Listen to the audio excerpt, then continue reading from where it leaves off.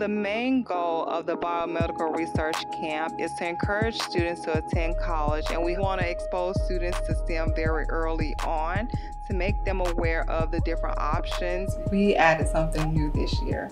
We're excited about adding males to the camp because initially it was founded as the Biomedical Research Girls Camp. So this year we've developed programming that will include males and females, and we're excited to see how science will resonate with males. I basically expected when you hear biomedical research, you think it's like, oh, you're gonna be working with cancer cells, or no, you're gonna be doing surgery on frogs and dogs and all that. I was really kind of scared to see what was gonna happen. Once I got here, the whole thing changed. Like they were actually telling me what science actually means, how biomedical research actually works, you know, how the heart works, how your brain responds to your heart, how the heart pumps blood and all that. The way they explained it, they made it easier than what it actually was. They engaged in the science and how much they already knew about cardiology. They were just very smart children. They are very smart children, and so they just kind of hit the ground running. We had an opportunity to collaborate with several different departments across the University of Arkansas, as well as the University of Arkansas for Medical Sciences.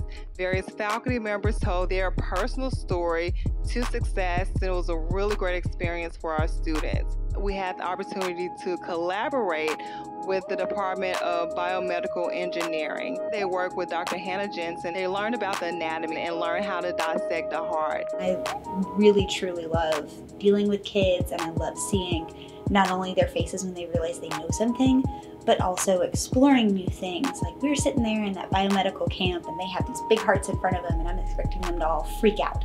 And then they were asking them questions and the kids remembered stuff that I thought would completely get lost. I learned that um, LDL is a bad type of cholesterol and HDL is a good type of cholesterol and you should want a hundred or down DL instead of a hundred and over.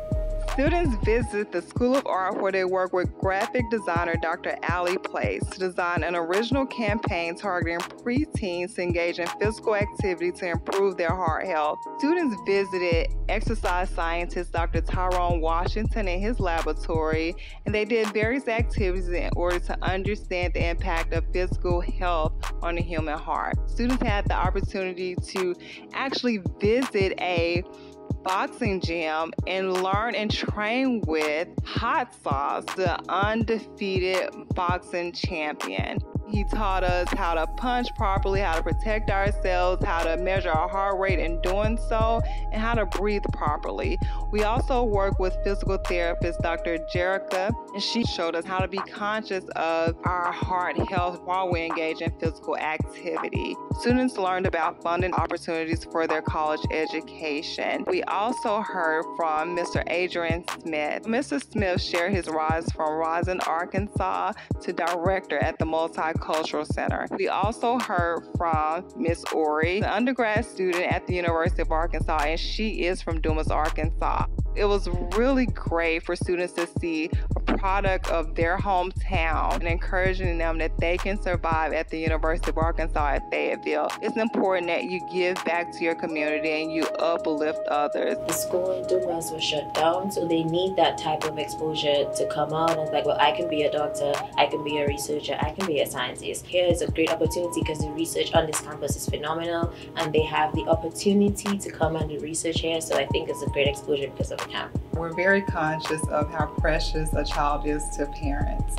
And we take every effort to make sure that the child is well taken care of. Dr. Bailey is a great advisor and the volunteers, they're great people. They do rigorous background checks. They know what they're doing. So I think it's great that you would uh, send your child to the biomedical camp.